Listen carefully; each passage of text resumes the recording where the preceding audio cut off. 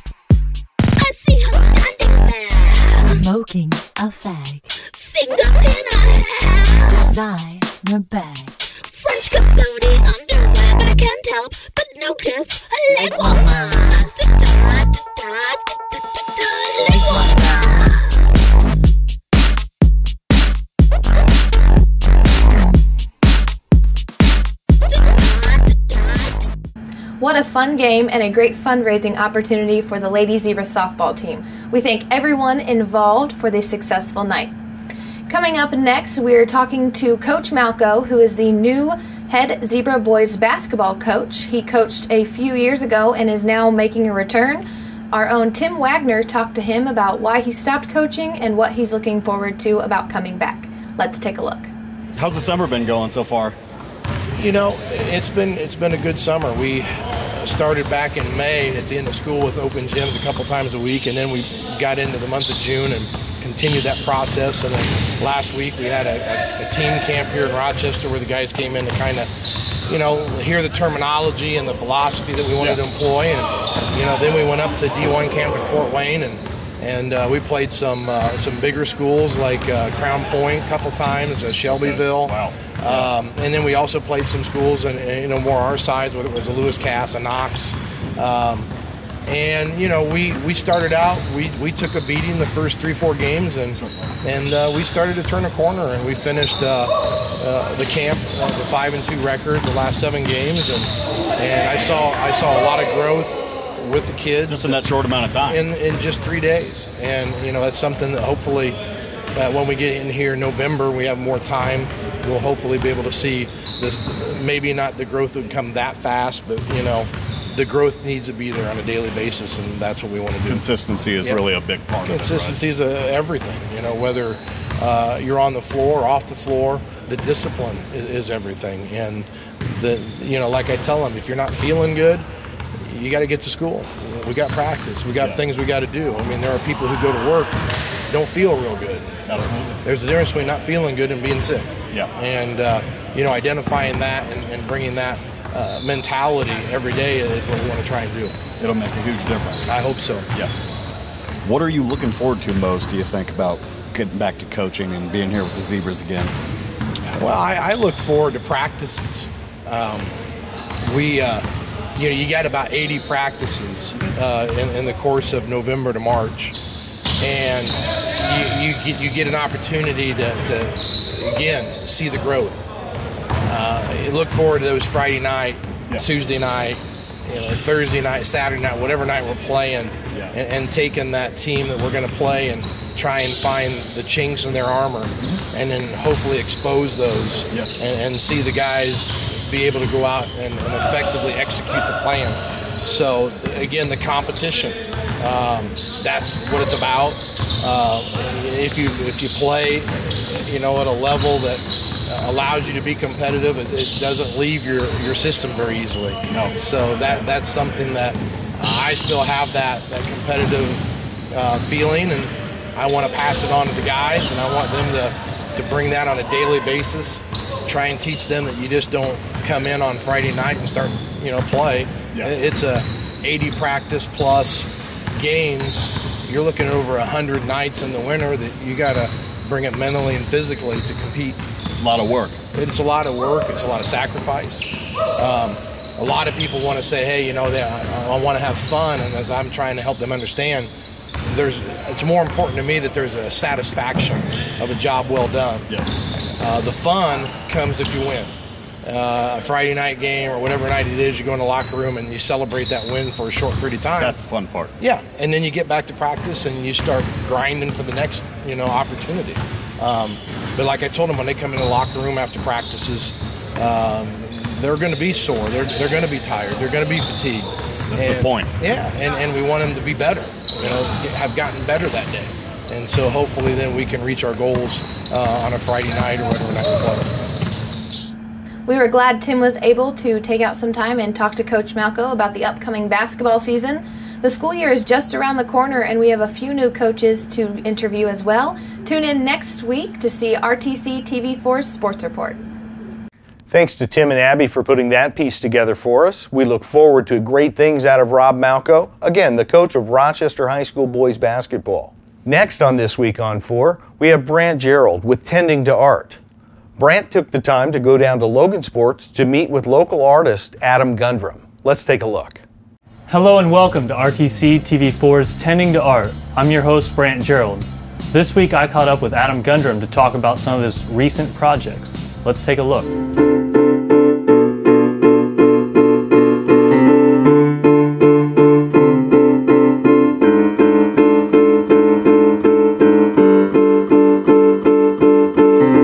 With Adam Gundrum.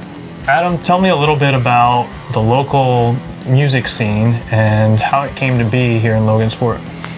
Well, um, I started in the local music scene when I was 15 or so, and uh, had friends from high school from Caston that I grew up with, and we loved rock and roll, and we started playing rock and roll, and then we decided that we wanted to try to start getting shows in Logansport and other towns around us, and just started talking to people and uh, got lucky with some different places that would invite local bands to play. And from there we just kept playing for a long time and here we are today. We have a nice record store here in town. We have a few really cool all ages uh, music venues and places for people of all ages to come and enjoy music so it's it's been really cool it's been a nice nice growth It's And good. speaking of some of those projects, let's talk about the Space Brain Creative Collective. Space Brain Space Brain Collective. I can't even say it. That's okay. Uh, yeah, the Space Brain Collective is um, uh, a label that uh, my friend Brian and Carmen and I started, and uh, so we basically put out um, different bands of this area, and our kind of main focus of it is to have a really out of the ordinary artistic uh, way to present music instead of it just being a plain recordable CD and a paper sleeve. You know, we have screen printed sleeves from Cheapy Squeegee and all kinds of different stuff. that Cheapy we- Squeegee. Yeah, Cheapy Squeegee. they they make uh, this shirt and they do very nice screen printing. Shane and Janae are awesome. Um, but yeah, we uh, we try to put art with the music and make it more of a, a cool package to look at as far as a cool package to listen to. It's interesting because actually, I feel like the model for the music industry and the business side of it to get people to buy nowadays, it has to become physical in a different aspect. People aren't interested in just the CD. You have vinyls coming back for that same reason, where people want something a little more artistic of their favorite band. You know, you get an out or a vinyl that has some of their artwork included, and you're just kind of taking that step one one more. Yeah, I mean, uh, and there are several labels, independent labels, and bands that, um, you know, we obviously are influenced by, and uh, you know, most most of the of my favorite bands, when you see them on tour, their albums that you would get are have handmade sleeves by the band members, and they're you know signed by the band, and it's it's a piece of artwork that you get with the actual record, and it just kind of makes it feel more intimate and more personal and You cool. get another side of the artist that you're listening to, and then it's like, okay, now I can see where their brain is in another level, in another dimension, really, because music is one side, and then you have a more visual realm too. Yes, yeah, and that's really cool, and that's sort of what we try to do. We're, you know, we're, you know, weirdo artist people, so we like to Obviously, right? Yeah, got yeah. The, the weird, awesome, weird masks. Here. awesome masks by Greg Hildebrandt here. I don't think they have much to say. They don't, but they're they're very they're very good uh, support for me here, and they, they keep me company when I get lonely. But but yeah, it's just it's all about art and and put something really interesting to visualize with what you're listening to. Yeah, cool, cool. So, you have a new project now, actually, right? I do. The Bullhive? Just, Yeah. just Bullhive, not the Bullhive. yeah, it's just called Bullhive, and uh, it's uh, Brian White and, on drums and Joe Schrock on bass, and I play guitar. And um, yeah, it's been really fun. Uh, both the guys that are in the band with me, we've all been playing music for a long time around this area, and became friends uh, from our bands playing shows together throughout the years, and decided to start a project up, and it's been a lot of fun. And And you have a new album? we do uh, coming out really soon, uh, probably within the next month or two. We'll have uh, our first release uh, come out, and you know, hopefully everyone likes it. My name is Adam Gundrum, and I am going to make art out of my junk mail.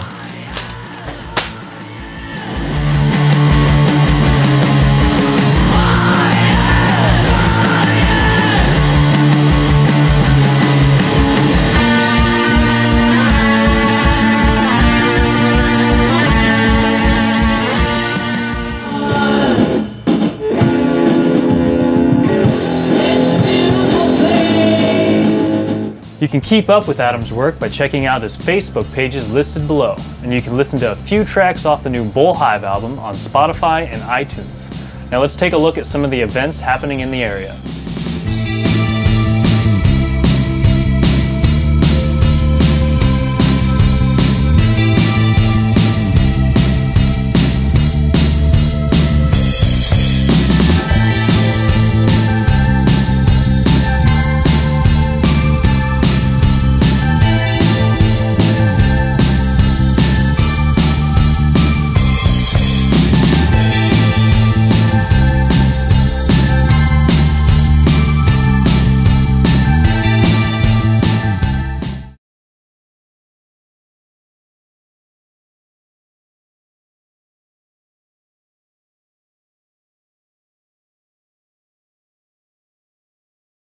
Well, that's some interesting stuff. Again, from Brant Gerald, our man tending to art here at RTC. Thank him for that interview. Now, next up, we've got Tim Wagner. He's talking about all the great things happening in this community. You know, we just had the Queen pageant here for Miss Fulton County. And of course, the Fulton County Fair had lots to highlight, including the tractor pull. Let's take a look. I'm Tim Wagner with RTC TV4, and this is your Regional Roundup.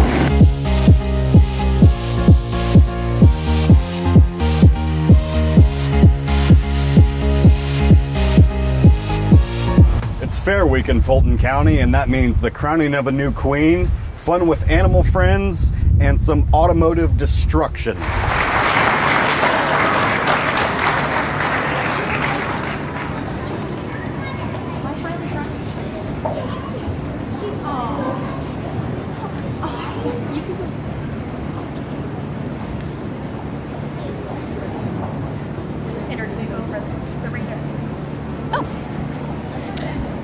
Okay, we will now announce the awards for Miss Fulton County, but first Reagan is going to come up and give our top sponsor award.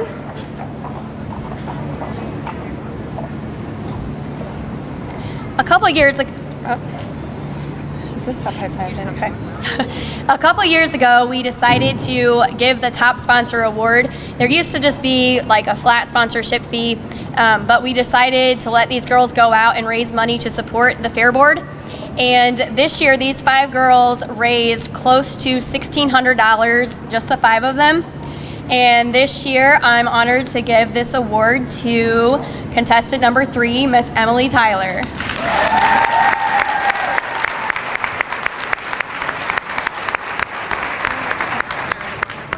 There's a little bag over there. Oh well.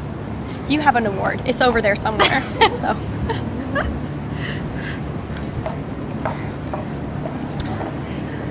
Okay.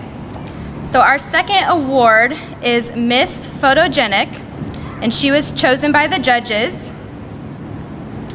And this award goes to contestant number five, Brittany Walker.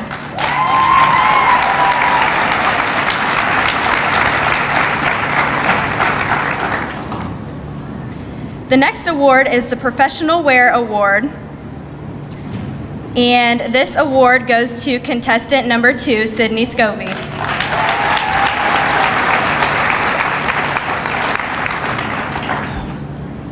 Amanda Hotzel. Oh. Professional wear? Yeah, they have it out of order. Okay, say sorry. It was formal wear. Oh, okay. So, formal wear winner was Sid Scobie. Sid Scobie. And then the professional wear winner was a contestant number one, Amanda Heltzel.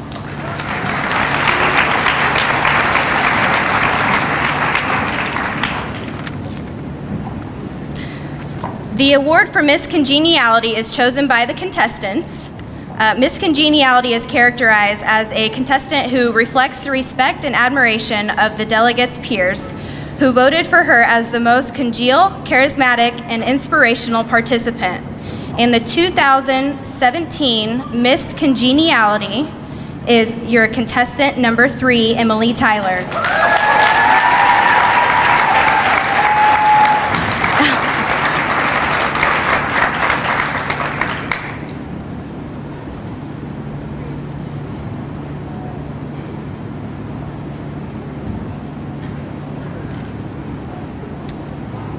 All it is now time to announce our first runner-up. And our first runner-up this evening is contestant number four, Adriana Day.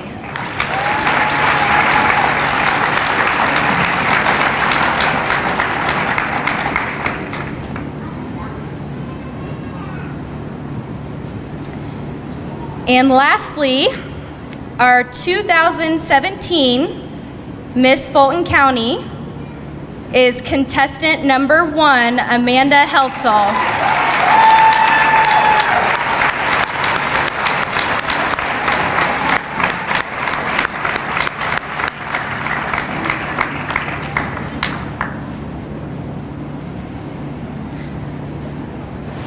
This is the wall where champions are crowned, and now we have new champions.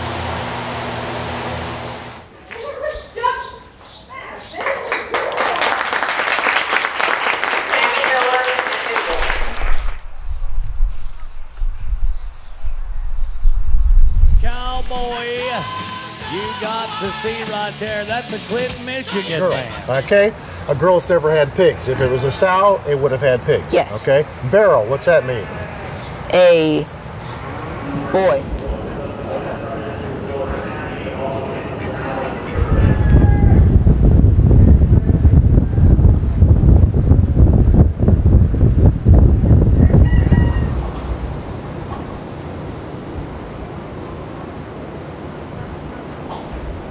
Here's where all that automotive carnage takes place, out on the old dirt track. Boys, I hope we're not needed, but glad you attention guys your could flagman come. out there, Jeff Babu. Glad you got your pants on this Todd time. Boston, and who's the other flagman you got tonight?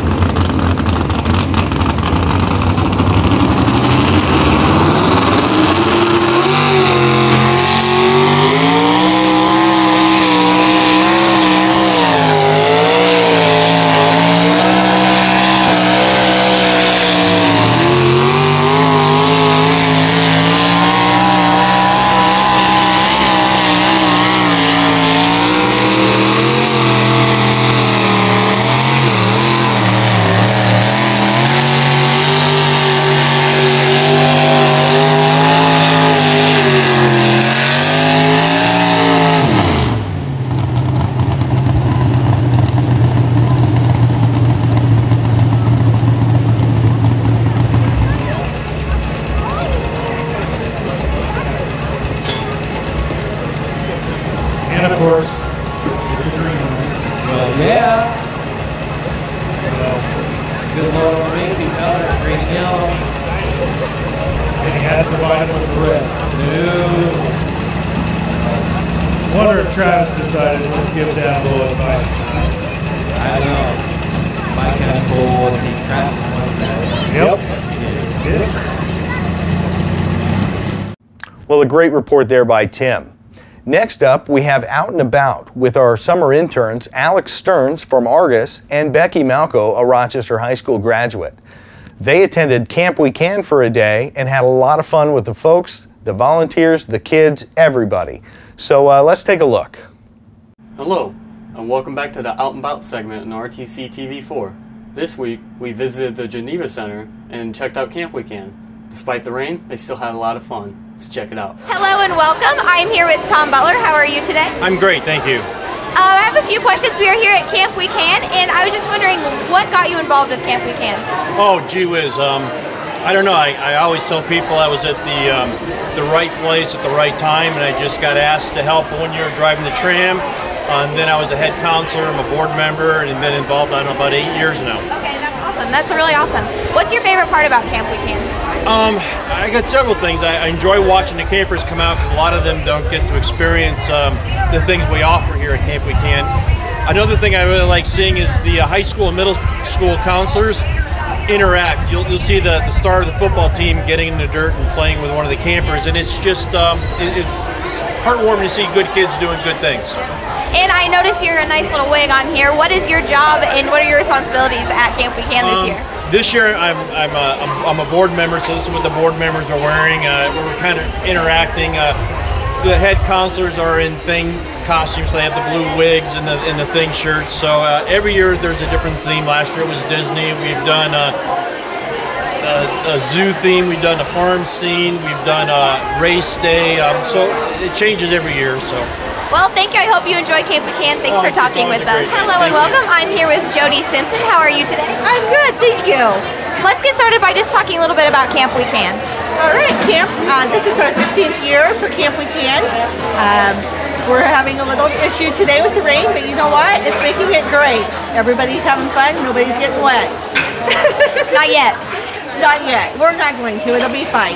Um, camp was uh, started in 2003 with eight campers. This year we have 100 campers. So we have a very large crew coming in today.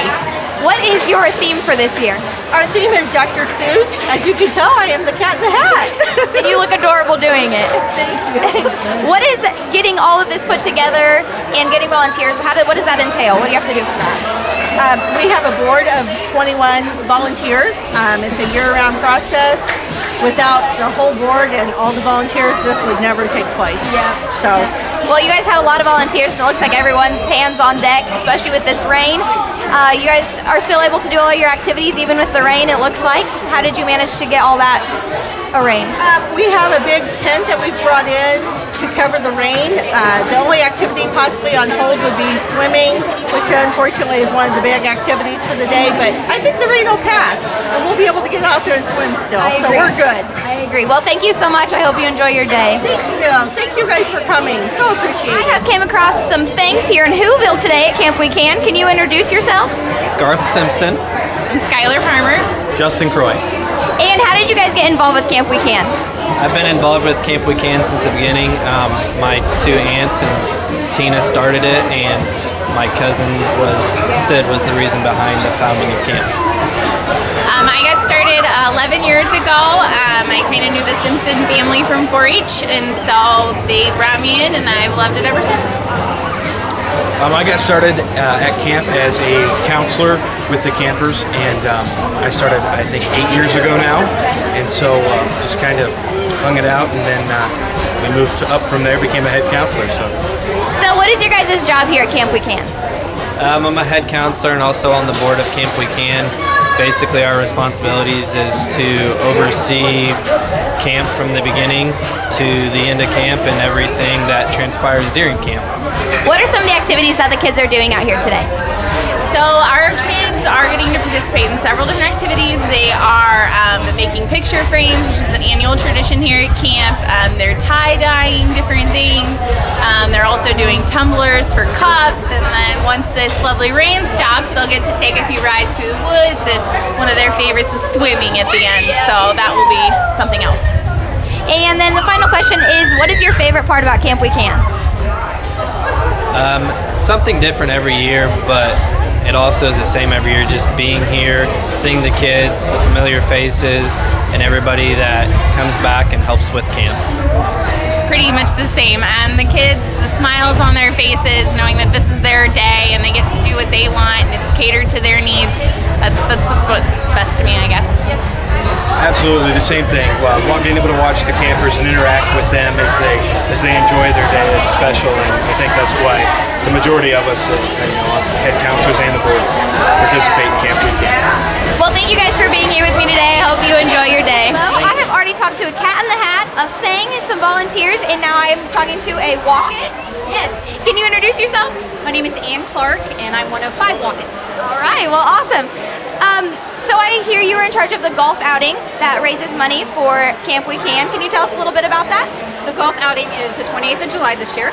Um, it is the largest fundraiser that we do for camp. Um, last year we had 34 teams, um, raised about 17,000. Um, hoping to do better this year. Things are slow coming in right now, so if anybody wants to play golf or sponsor, um, just let me know. But it's a fun day. What do you do here at Camp We Can? Um, I'm on the executive board, so um, I help plan, set up, um, and just kind of anything they need me to do. And what is your favorite part about Camp We Can? Um, the smiles of the campers. They really enjoy it. Well, thank you, and I hope you enjoy your day. Hello, I am here with some volunteers. Can you introduce yourself? Sure, Sis Thayer. I've been here 12 years. Beth Brady, this is my second year. My name's Troy Murphy. Tammy Thompson, four years. Awesome. Well, what is your guys' job here at Camp We Can? Um, I'm a golf cart driver. I have a lot of different jobs, but today I'm a golf cart driver. Love it. I'm having Tom too. In the past, I've at, uh, been at stations. This year, I'm at uh, golf cart driving. Right. And what is your guys' favorite part about Camp We Can? The kids. Uh, the kids, all the campers are so fun. Everything. You love everything? Everything. Kids are wonderful. It's just a good time. It looks like a great time. I won't keep you guys too long. You go and enjoy your day. Thank you so much. Well, there are lots of great things going on out there at Camp We Can. I want to thank Alex and Becky for doing such a great job covering that, interviewing all the kids and the folks out there. If you can support Camp We Can in any way, please take a moment to do so. Now, I want to thank you out there for watching This Week on 4 here on RTC. We'll be back next week with more stories and highlights right here. Tune in to RTC4.com to watch us online. Thanks so much. I heard there was a foot race, so I jumped in my motor car and got here as quick as I could to sign up. Is it true? It's true. There is a Fulton Bulldog 5K race on uh, Saturday, August 5th. It starts at 8:30 a.m. and it's up in Fulton Park. Awesome. Now, who will my monies be helping? Well, the Fulton Bulldog 5K and Walk previously helped support the Stephen Bruce Matisse Memorial Scholarship. Bruce Matisse received so much support from the community and sponsors that he graciously passed the race on to the Caston Cross Country Team. This year, the proceeds from this race will now benefit the Caston Cross Country Team and Loaves of Love, which is a United Methodist Church ministry in our local community. Awesome. So I get to run, and the proceeds benefit young runners coming up in the sport. I love it. Yeah. And so, can I ask where you're actually from? Well, I'm from the UK, mate. Oh, so if he can make it from the UK, you guys can make it too.